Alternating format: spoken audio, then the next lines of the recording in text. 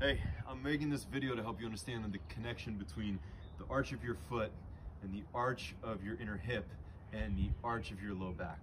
And I'm going to use an interdisciplinary approach because I feel very strongly that the purpose of all of the tools from different physical modalities is to help you better understand yourself and then as a byproduct to help you feel better and more empowered. So uh, let's just get right into it. I know there's a lot of online yoga these days and um, these are some techniques that you can bring into really any yoga practice that you utilize. Uh, I think that understanding the body really transcends the dogmas of any one practice of exactly how you place yourself in a posture because there are basic realities about how bodies function um, that transcend one style of yoga or practice or movement. So let's just get right into it obviously you have an arch in your foot and some people may have more or less arch and um, more or less arch might make you gen genetically predisposed to having an easier or harder time balancing. Um, also, I just wanted to announce my quarantine sort of do double man bun thing here and kind of apologize for it. We'll, we'll, we'll see what happens with this once we get out of quarantine. But um, making an arch in your foot is something that's going to inform a lift throughout your body, engage the muscles of your lower leg to support your knee, and also give you space in your inner hip and lower back so that when you do postures like warrior postures, you get, I guess, what's typically referred to as hip opening. But when I think of hip opening, I don't really think of like a static or passive stretch. I think of um, utilizing force in opposite directions in order to make space at a junction or joint. Uh, so really, when well practiced, asanas can be like loaded progressive stretching. In other words, um, weight-bearing range of motion acquisition. And uh, the asana can also give you the opportunity to put yourself in the center between strength and flexibility. So if you look at my foot here, you can see that if I allow my ankle to collapse inwards, I have a naturally um, lifted arch, but my arch uh, collapses, and you can imagine what the kind of pressure that would put on my knee. It'll also make my butt stick out put more pressure on my lower back in a warrior posture. So there are a few simple solutions to that that you'll feel translate up your body. The most basic one is just to lift up your toes. And this is a really great way to start to understand how a foot operates and affects uh, the rest of the body in a static posture. And you can see as soon as my foot lifted, my um, calf muscles engaged, my arch lifted, um, and I, I, feel some action in my hip. So this is a really good place to start if you just haven't been paying attention to your feet at all in your yoga postures. Um, and after doing that for a while, what I recommend actually is you start by lifting your toes and then actually put your toes down and grip the floor with your toes, which will give you more action in the back of your leg and also will give you the ability to kind of glide your ankle away from the center line. So when I do this, I push down with my toes and I feel for dragging my heel to the outside and it doesn't actually move, but I feel the whole backside of my leg light up when I do that. So this is a really good exercise just to practice um, in this like half squat position or if this hurts your knee I mean you could do this just as well in uh, a position like this. And you can see from the side the muscle of my calf muscles of my calves are, are relaxed. And when I lift my toes they engage and when I put my toes down they actually I'm able to pull my heel outwards and pressure through the ball of my foot. And I feel that there's a very strong connection between awareness of the balls of your feet and the movement of your sitting bones either apart in a posture like a downward dog or together in a posture like a warrior two.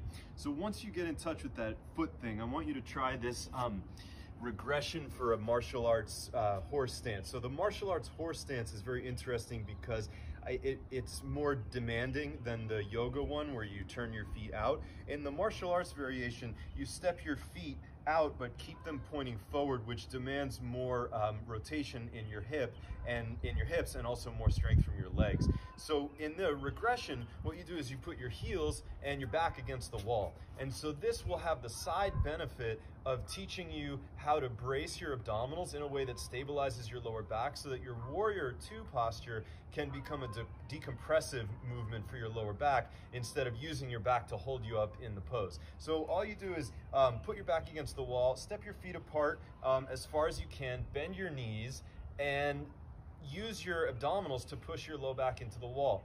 I think one of the common mistakes in yoga is always sending breath up into the chest and heart because breathe into your heart or we talk so much about heart in yoga, but um, there's a real benefit to creating intra-abdominal pressure by using a more diaphragmatic breath. So what I do in this position is I actually inhale down into my belly and I let my belly go outwards and at the same time I press my low back backwards.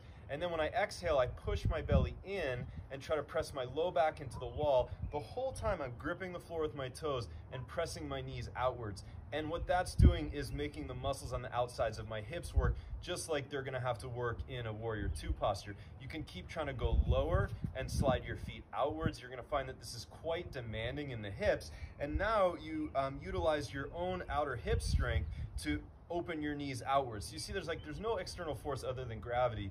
A final piece here is take your chin and glide it backwards a little bit so that you are creating the feeling of lumbar flexion or, or lumbar slight rounding, but um, you're not creating that lumbar length by hunching in the upper body. And just gliding your chin back will set your head over the rest of your spine and create a slight feeling of thoracic extension. So anytime I'm trying to decompress my spine and find center in a position like this, I'm basically thinking low back rounds. It's like a feeling because if I think round, it'll lengthen. And then I'm thinking ribs together, but finally it's like chin back so that I'm not closing off my heart. So if you've been doing this for this long, you will definitely be feeling your legs and hips. And then push your hips forward to come out. So instead of like coming out with your back by arching, push your hips forward to stand up. And then you start to get in touch with the idea of utilizing your um, legs as a true first floor to create strength, structure, and stability underneath you so that you have capacity, fluency in your second floor and vision in your third floor. And these are Katonah Yoga metaphors that I think are really appropriate. If you want to take this into a Warrior 2 application, now that you know what it feels like to use the outside of your hip to open your knee to its own side, again, I'm not pushing your knee back with, with my hand or you're not doing that.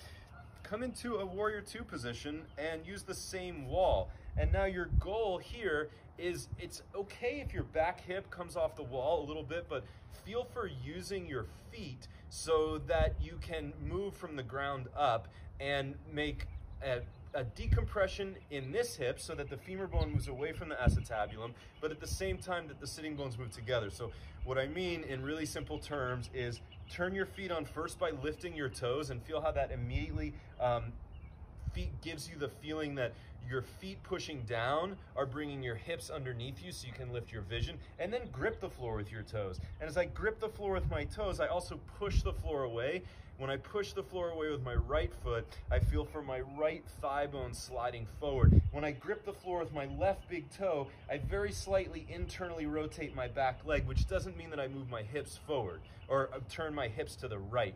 And then if you want to, you know, finish it off, you can bring your arms out and then you can really feel how you can stretch outwards with your fingers, but also just a little bit of scapular retraction so that you can set your head over your spine and utilize your armpit muscles to support your back. And then you can see this knee wants to come in. So I'm gonna use the same muscles that I use in the horse stance. And from the ball of my foot, I press my knee outwards. And now what I feel in the pose is um, that my back is supported and I feel a lot more work on the, in, uh, on the inner groin of this back leg.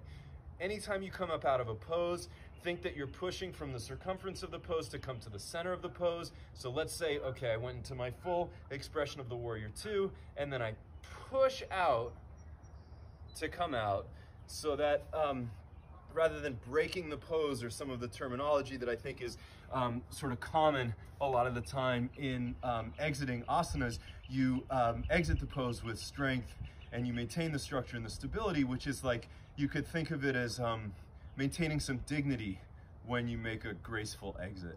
I hope that uh, this is useful and let me know in the comments if you feel like this kind of content is helpful to you guys and I'll do more of it and we'll get some more online stuff going soon. So uh, once again, apologies for the odd hairstyle and much love to everybody out there. I hope you guys are all staying safe and sane.